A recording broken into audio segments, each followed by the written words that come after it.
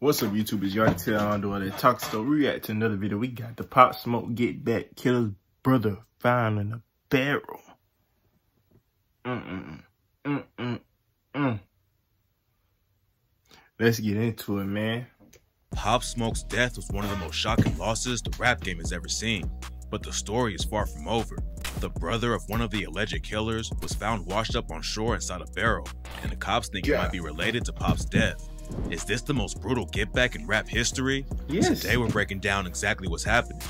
A couple weeks ago, the oh, body of no. a dude named Javante Oh, no. Nah, when Yella Beezy, they burned his parents up in the house. They put his parents in the house. His parents was in the house. They burned the house down and killed him.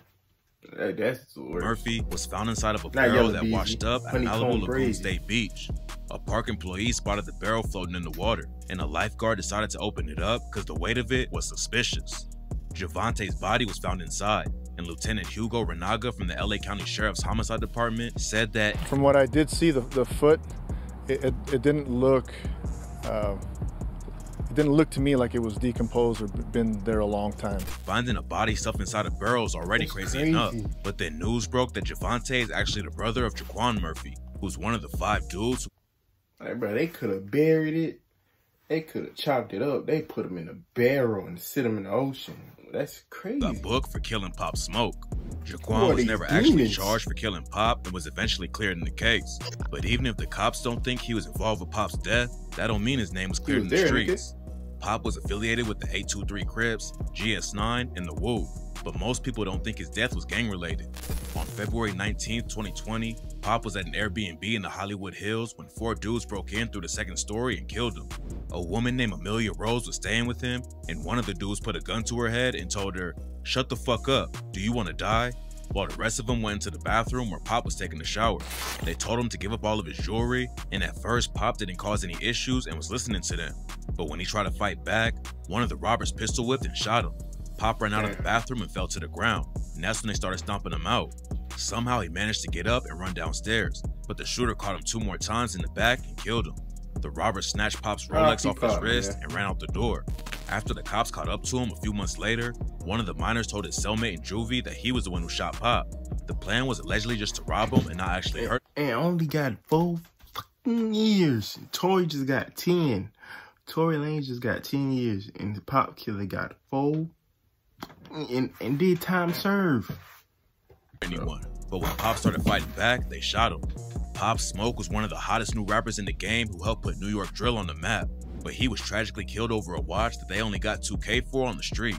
The minor's 18 now and officially admitted to first degree murder and home invasion robbery. Even though he's an adult now, his name still hasn't been released since he was only 15 when he committed the crime. The minor pleaded guilty to voluntary manslaughter and home invasion robbery. He was sentenced to four years and two months in juvie, and the judge refused to grant him time served for the two years and eight months he's Oh. already been locked up for.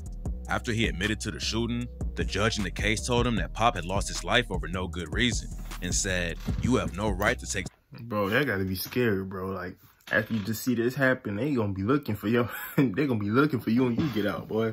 Somebody's life. That's crazy. You have no right to take somebody's property. The minor's lawyer tried to save him by arguing that he had a learning disability and wasn't fit for trial.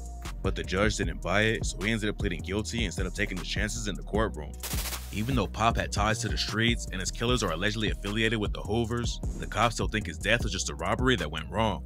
The day before Pop was killed, his homie Mike D posted a gift that Amiri had sent to the Airbnb, and you could see the Airbnb's address in the post. After Pop died, Nah, Pop rumors started flying that that. Mike leaked it on purpose and backdoored his own homie. Mike defended himself on social media and said that nobody could understand the pain he felt after Pop died. But fans ain't the only ones who think he was involved. In a bunch of deleted IG posts, Amelia Rose aired him out for acting sketchy the whole day before Pop was killed. She claimed that Mike was on the phone with someone that day acting nervous, and on IG she wrote, Who's the black women who did the setup? Who are the people involved in his murder? You know everything, I saw everything. A dude named Corey Walker is the only adult facing trial over Pop's death.